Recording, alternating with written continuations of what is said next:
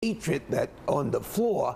And, and I have never seen friends that would come over and say, I wish I could help you, but I can't get my committee assignment if I get out there and say anything kind about you.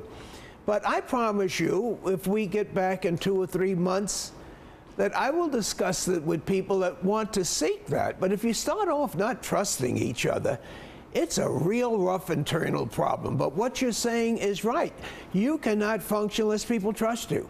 You cannot even have a compromise on this important tax thing if you go to the table waiting for the others to make a mistake that you can capitalize on politically. It's a big job, and I can only tell you I'll step out the plate. I think you want me to throw out the first ball. I but do. I, I know, but I, I, can only tell you that it hasn't been raised. Uh, you know, I'm still licking my wounds, and. Uh, but I, I, I really have to make certain that I get the hypocrisy out of this thing because it's on both sides of the aisle. And while people in the past have fallen victim to it's a bad year for the Republicans, hey, it was a bad year, as everyone knows, for the Democrats. But it's worth giving it a try. And I would suggest, too, I don't think that religion has played as important a role on, on the morality rate of the Congress as it should.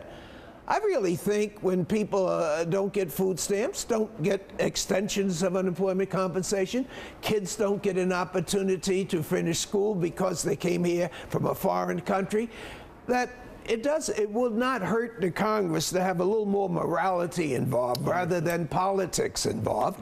And um, I'm prepared to do more than my share. God knows I've had a break in life. Yep. And if I have to pay dues by avoiding this with other people, especially younger members, I'll be there. But I, I do think you've got a unique set of equity now to actually. I think you're right, especially with the younger trust. members that really don't know what it used to be like and, exactly. and their obligations and what can happen if they make mistakes. Yep. Congressman, it's a real pleasure. Well, it has been for me, All right. too. All right. We'll talk to you soon. Charlie Rangel. Uh, up next, what happened to that bill that would have given medical care to 9 11 first responders?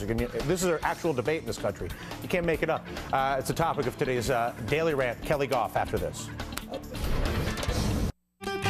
Yellow Book has always been crucial to your business. But now, to get it really cooking, you need a little website development, some transparent reporting so you know it's